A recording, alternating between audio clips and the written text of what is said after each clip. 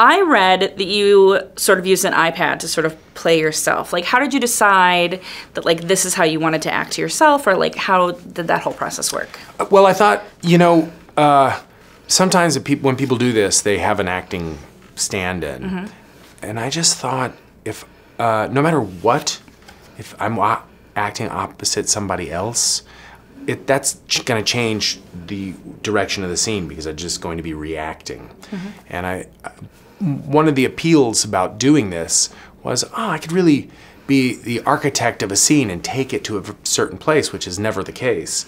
And so I thought, if I I want to act opposite myself, truly as best as best I can.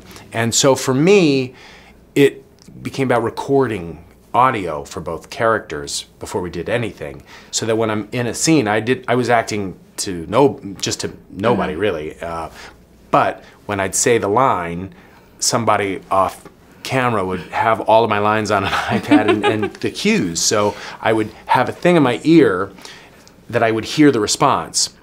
So um, that was how we would do it. I would film the character that was driving the scene. I would film that one first, and then we'd settle on a take finally. I'd switch over, and then I'd go back and I'd study what we'd already filmed and try and memorize the movements Mm-hmm. when I said things, uh, what I did when I said a certain word, and then I would put the thing back in my ear and just map out the mm-hmm. lines and pretend it was happening like the choreo I'd remembered the choreography. That's interesting because sometimes you might, you know, you wouldn't get to pick your take. Like you'd see the edit and be like, "That's not the one I would have used." Do you know mm-hmm. what I mean? So you'd get to sort of know going in, like, "This is what I." There are certain things that were tricky that we had to do because one of the things we didn't want to do was just show, you know, a single on the new guy and then a single on the old guy and just kind of go Yeah. back and forth. Uh, we wanted to see both of these characters in the same frame.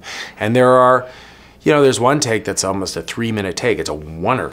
And both of the characters are moving around each other and talking to each other and i- interacting. You know, that's how do you do something like that? And you have to kind of settle on one take. I have to know what the first guy is doing uh, in order to play the second guy because uh, if I'm gonna watch myself pick up a you know a can of Coca-Cola and throw it in the trash can, I I have to know what I'm doing. So you're not just, like, staring yeah. So it was space, a we, yeah. we had to we had to settle on a take before you know getting into the editing room sometimes. Now there's two me's, but there's one life. So, what do you suggest we do? Not to spoil anything, but there's kind of like a climactic dance scene in the last ep. I think that people really like to watch you dance, like um, Celery Man from Tim and Eric. Like I, I see that GIF all the time. Why? I mean, Tim and Eric, you can't you just can't go wrong with Tim and Eric. Yeah. They're the funniest guys. Why do you think people like to see you dance?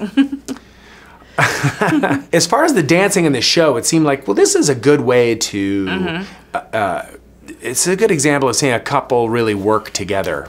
It, it can, you can say a lot by saying a, by just sh- showing a little. There's you can express yourself in a dance without words, without all of this stuff. It's a, it could be a great metaphor for the relationship. That's and that's why we used it in this show. Uh, um, but yeah, there's. I, I think that it's just over time, over after working for now a couple of decades, there's there's chances are there's just going to be some dancing in there and then. Do you know a place that sells guns?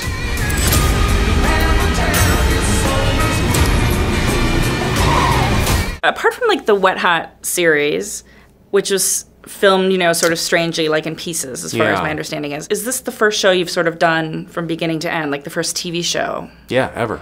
So, what was it about this show that you were like, this is it, this is the one, this is my foray into TV? I didn't think of it in those terms uh, uh, at all. I just I thought this exists as it is like a four-hour movie. I mean, it tells this story. There's a there's a beginning and an end and a middle and and but I just liked it. I when I read it, all eight episodes were written, which is not normally the case with a, a show. Mm-hmm. Usually there's one or two, and then you know a page that tells you where they want to take the show. But this was just eight episodes, self-contained, that I could not stop reading, and I really liked it. I liked what it was about. I thought the writing was really clever. I loved every all of these different ideas where you're seeing something and then an ep- episode or two later, you're seeing that same action yet through the perspective of a different character. So it makes you reevaluate what you've seen or you know what how you what opinions you might have formed. And uh, there was ultimately this idea that I was going to get to play opposite myself. I had never done that. There were just so many things about it that seemed interesting and appealing and that I wanted to try.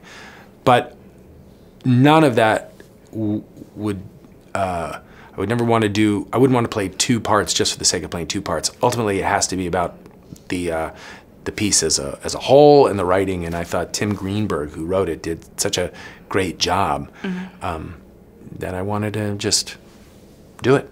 I hate you! I am you!